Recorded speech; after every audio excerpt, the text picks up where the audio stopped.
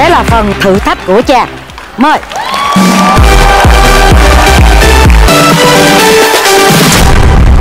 Và sau khi lựa chọn ngẫu nhiên thì à, ba chàng trai của chúng tôi gặp ba thử thách như sau. Chàng đầu tiên sẽ là tiết mục ảo thuật, có vẻ là sở trường. Chàng thứ hai sẽ là một phần beatbox, còn anh chàng thứ ba sẽ là phản ứng lại với tình huống bất ngờ do chị Việt Hương đưa ra. Đầu tiên thì xin mời à, bạn ở vị trí thứ nhất ạ. Xin mời.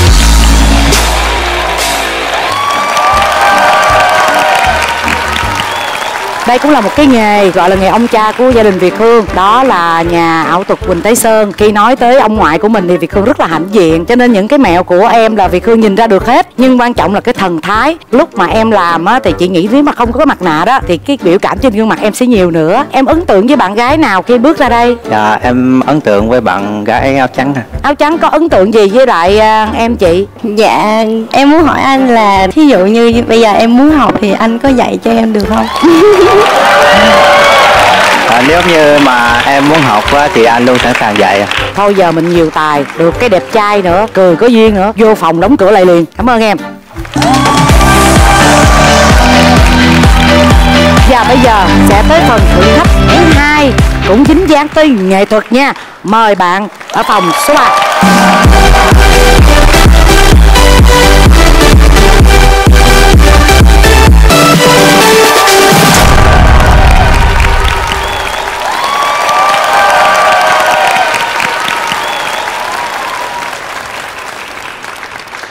sau đây là phần trình diễn beatbox của em. Thì em xin được uh, nói lại cho tất cả mọi người uh, ở đây uh, biết beatbox là một bộ môn uh, mô phỏng âm thanh không dùng bất kỳ uh, dụng cụ nhạc cụ nào hỗ trợ hết. Ví dụ trên tay em đây là drum bass đây là hi hat đây là snare. Khi phối hợp lại nó có một điệu beat là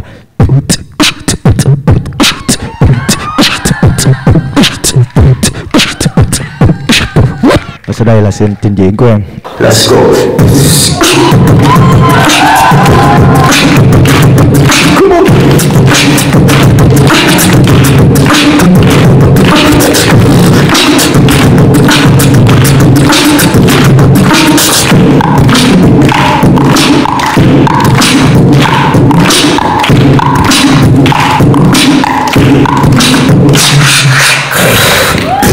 Hey sexy lady, I want you know When I look at you, I feel so high, high. Hey sexy lady, I want you know When I look at you, I wanna love you now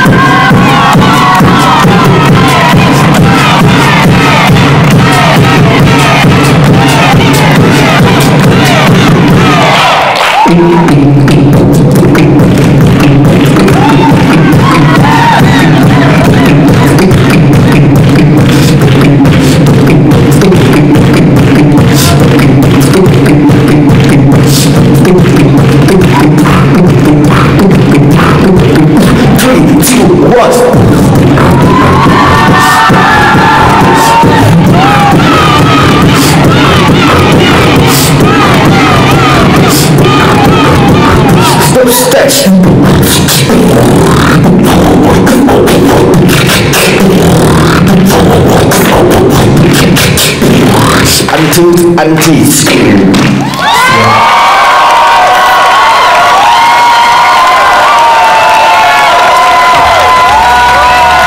Rồi em đến với bộ môn beatbox này lâu chưa? Dạ tính ra em đến với ờ, bộ môn ờ, beatbox này ờ, cũng được uh, 7 năm. Ngoài cái việc mình đi sale hàng ngày ra rồi mình có theo đuổi đam mê này với những câu lạc bộ hay gì không? Dạ không à, này chỉ là tài lẻ của em thôi. Bỏ luôn rồi đó hai em Dạ em bỏ lâu lắm rồi Dạ. Ổn quá vậy ta? Nói chung là tại vì có nhiều cái tiếng tiếng tiếng bass nó sẽ rất là khó làm. Nhưng mà em xuống sát hết chị vẫn nghe rõ. Và cái hợp âm em làm rất là dễ kích thích người khác. Có thể là không nhiều em không tập luyện nhiều nữa. Nhưng mà đối với chị là em là một người có năng khiếu về cái này. Cuối tuần hay gì đó mình giao lưu với bạn bè. Dạ. Còn em em ấn tượng với anh chàng này về cái gì? Anh Con- ơi anh có biết chơi đàn guitar không? Có em. Trời đất ơi quá trời tài vật luôn rồi.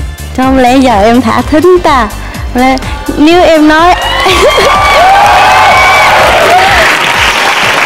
nếu em nói em xây tiếng đàn thì anh có lại gần bên em không? Em xây đàn hay xe là xây anh? Xây đàn hay xe là xây anh?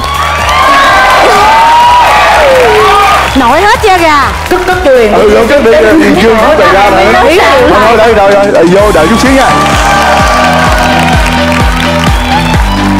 Vâng, và tiếp theo là phần trình diễn của bạn ở vị trí thứ tư với phần thử thách của chị Việt Hương. Xin mời.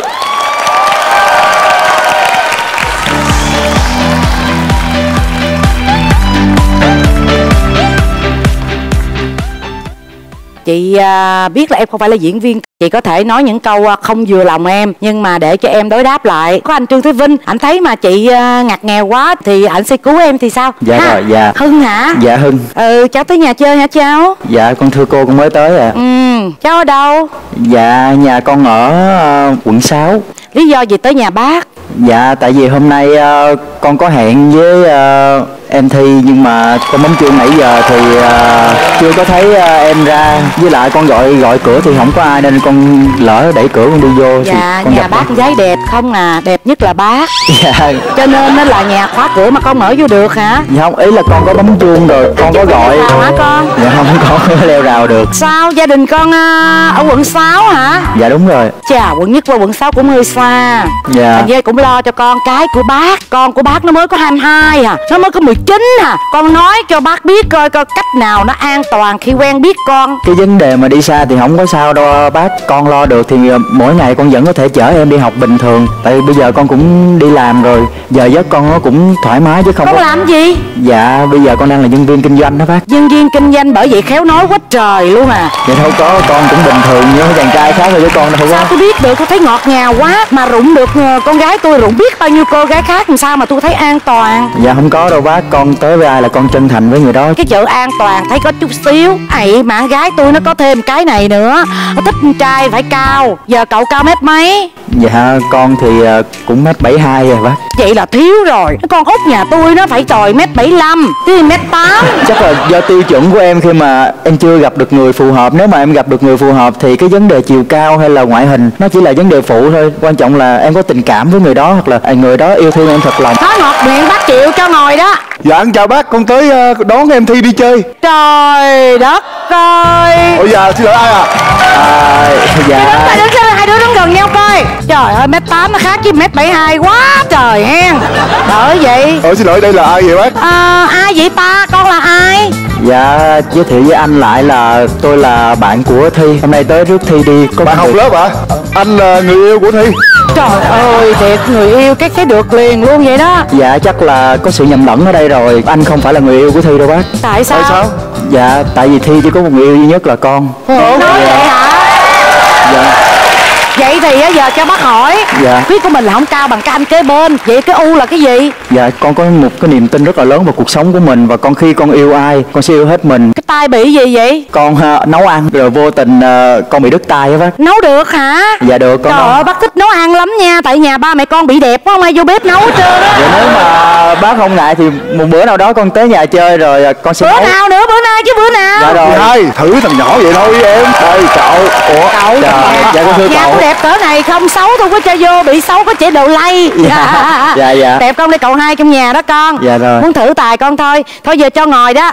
Dạ rồi con xin phép ờ, cậu với lại bác. Ờ ngồi thôi. Gia đình tôi ai cũng cao hết đó. Giờ cậu đi với con gái tôi cậu làm cách nào cho cậu thấy cậu cao lên chứ? Dạ con sẽ cao lên bằng cách là con sẽ nâng cái vị trí của mình ở hiện tại lên. Con sẽ cố gắng làm, cố gắng phấn đấu để mình có một vị trí tốt trong xã hội. Con có đi với cậu cao hơn con tận 10cm thì ờ, con lúc đó con phải ngước nhìn đúng dạ, không? đúng rồi. Dù không cao nhưng mà người khác phải ngước nhìn Dạ, nhỏ phấn đấu chịu khó để ờ, vươn lên. Thôi thì quận 6 với quận nhất nó cũng gần sạch thà. Chạy xe cái qua liền. Dạ. nụ cười cũng tươi. Gu thẩm mỹ chỉnh chu. Cái quần với đôi giày hợp lý với nhau. Không nhớ là không vô thôi. Trời ơi, quá được kìa Thôi giờ đi chợ mua gì về đây nấu ăn rồi ờ, Dạ. nói chuyện coi sao. Trời, ở trước khi đi nè ngắm hai con gái cô má nè. Nha đó. Anh thấy đẹp không? Dễ thương không? Ủa rồi con biết đứa nào thi đứa nào thư không con? Thi là bạn áo trắng và Thư là bạn áo đen. Vậy giữa thi và thư thì con cảm thấy con ấn tượng với bạn nào hơn? Dạ con ấn tượng với bạn Thi. Có một cái gì đó nó nhẹ nhàng hơn, nó không có cá tính mạnh bằng Thư. Tại vì bé thi nhìn ở đây á thì nhìn cái nét nó dịu dàng mà con trai thì khoái cái nét dịu dàng. Thư thì cá tánh nhưng mà chị ngồi kế bên thư thì thư rất là xinh. Thư nói là mấy anh trong đây ai cũng thích chị ti hết. Vậy chị ơi chị làm ơn giới thiệu giùm em mấy anh quay phim đằng sau lưng. Nãy bé thư có nói vậy cho nên mấy đứa quay phim ơi yên tâm nha. Có ai thích bé Thư không? Giơ tay cái nè. Ơi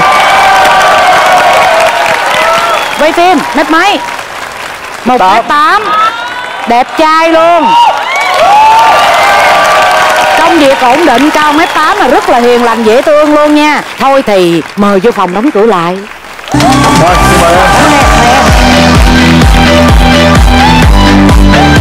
Mời quý vị giải lao đoạn kết thúc chúng tôi sẽ trở lại ngay